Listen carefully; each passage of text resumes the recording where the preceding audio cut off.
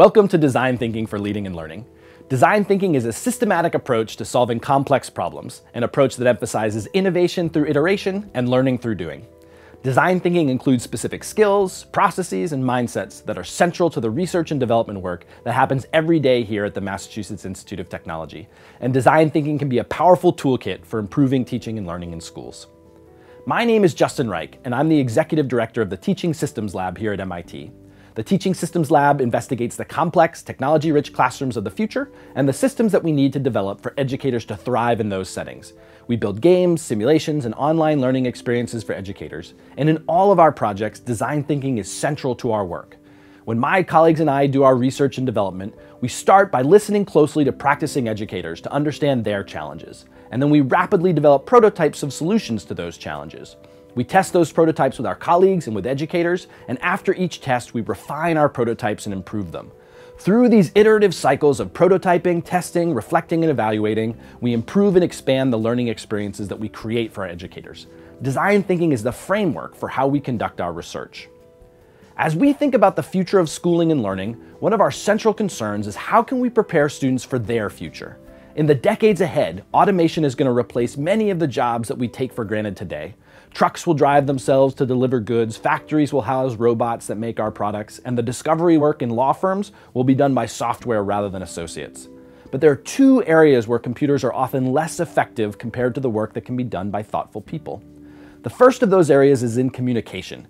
Humans are much better than computers at understanding people, persuading people, and helping people identify their needs and hopes. And the second of those areas is what we might call ill-structured problem solving. Computers are great at solving problems that are well defined and characterized by routines, where we know in advance what the solution should look like and what inputs are needed to solve the problem. But when we aren't exactly sure what the problem is, when we need to dream up a new solution, when it's not clear what will be needed to address a challenge, humans are far better than computers. If we want young people to thrive in their future, we need to help them become great communicators, and we need to help them learn to solve ill-structured problems. With that challenge in mind, there are two overarching framing questions for this course. First, how do we prepare K-12 students to be as successful as possible in a future that requires creativity, problem solving, and communication skills? And second, how do we enable passionate school leaders to re-envision the role of schools in preparing kids for their future? In this course, we'll focus on how to adopt design thinking as a toolkit for addressing these questions. We'll use design thinking as a pedagogical framework that we can use in our classes with our students, but we'll also investigate design thinking as a set of strategies that school leaders can use with their colleagues to improve the systems in their own schools. This course has three units. In Unit 1, we'll explore how faculty and researchers here at MIT use design thinking in their own research and development across multiple departments. Design thinking isn't a buzzword that people made up to give STEM teachers something new to try. It's how we build the future here at MIT. With guidance and tips from MIT experts, you'll undertake a hands-on design challenge to get you started in the process. Unit 2 will focus on how a variety of schools are using design thinking with their K-12 students. You'll see examples of how real practitioners expose students to the process and skills, and you'll be encouraged to try some elements of design thinking with students in your own community. In Unit 3, we'll explore how design thinking can be used to address broader systemic level challenges within education, You'll hear about how schools and organizations are empathizing, prototyping, testing, and iterating to drive real meaningful change. And you'll take on your own change effort informed by design thinking. We start this course with the belief that all of us are designers.